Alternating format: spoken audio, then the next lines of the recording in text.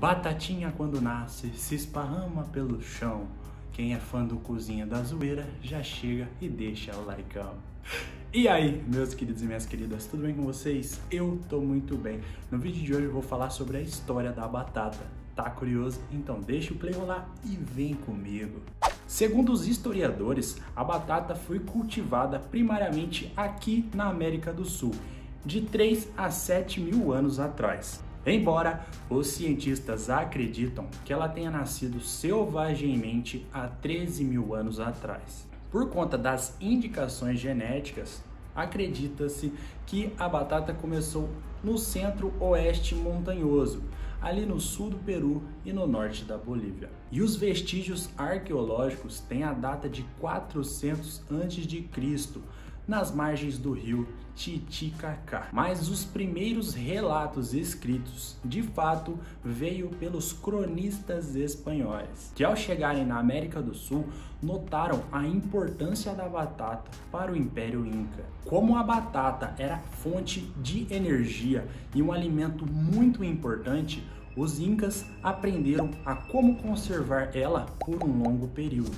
Esse processo é chamado de chinu. Neste momento, alguns professores de espanhóis e os espanhóis devem estar rolando por conta da minha pronúncia e eu já peço desculpa de antemão. Bom, mas vamos ao que interessa, que é o processo.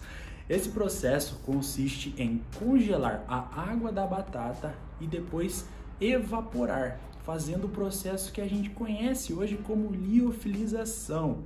E esse processo era feito de forma totalmente natural. Se vocês quiserem um vídeo sobre este tema, liofilização, já deixa aqui um comentário que eu vou anotar no caderninho do Cozinha da Zoeira. Os espanhóis perceberam a importância da batata para os incas, mas não deram muita bola. Só que aos poucos começaram a dar de alimento para o pessoal que estava no navio. Sendo assim, falaram: ah, vamos levar para a Europa. Chegando na Europa, foi um descaso total. Chegando na Espanha, a única coisa que a batata servia era de alimento para animais. E lentamente ela foi se espalhando pela Europa, mas sempre com o foco de alimentação de gado, porcos e por aí vai. O processo foi lento desde a chegada na Espanha.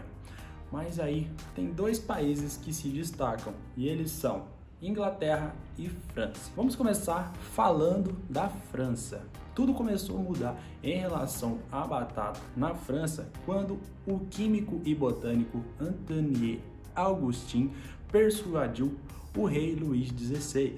Ele persuadiu dizendo que plantaria a batata para que o povo fosse enganado. Mas tinha muita lenda envolvida neste tubérculo, pois acreditavam que a plantação de batata atraía demônios e bruxas. E Luís XVI concedeu 100 hectares e muitos guardas para proteger a sua plantação. Sendo assim, os populares ficaram meio encabulados e começaram a perguntar por que eles protegiam tanto a batata. A partir disso, começaram a disseminar que a batata era muito rica em nutrientes e que mataria a fome do povo.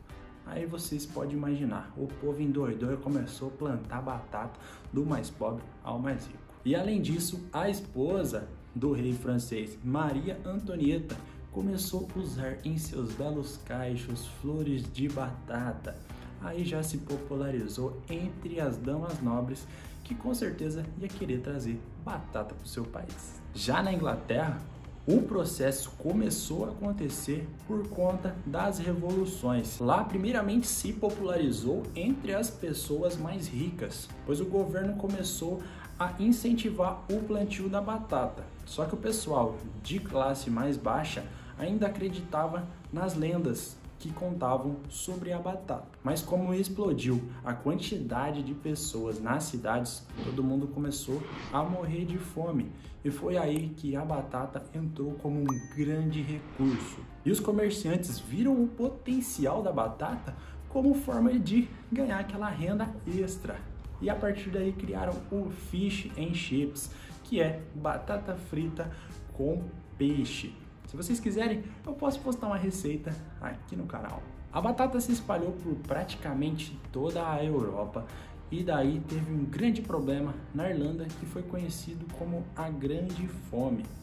A partir daí, os irlandeses emigraram para os Estados Unidos e Austrália, principalmente. Mas lá nos Estados Unidos, todo mundo foi meio relutante quanto a esse tubérculo que já era bem famoso no seu vizinho México. Mas após muito esforço, somente em 1872, um grande agricultor chamado Luther Burbank conseguiu que a batata fosse de fato para a indústria. Quando a dieta de todo europeu começou a incluir a batata, grandes catástrofes foram minimizadas, pois os agricultores tinham alimento e força para produzir quando todos os grãos davam errado. E como a batata é muito rica em nutrientes, ela conseguiu minimizar os efeitos de doenças como tuberculose, sarampo e desinteria. E se você ficou até aqui, não esquece de deixar o seu like e se inscrever aqui no canal Cozinha da Zoeira.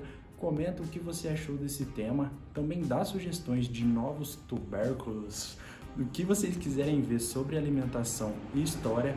E fora isso, vem comigo. Ah, não esquece das redes sociais, arroba Cozinha da Zoeira, no Instagram e no TikTok. E o site tá passando aqui embaixo.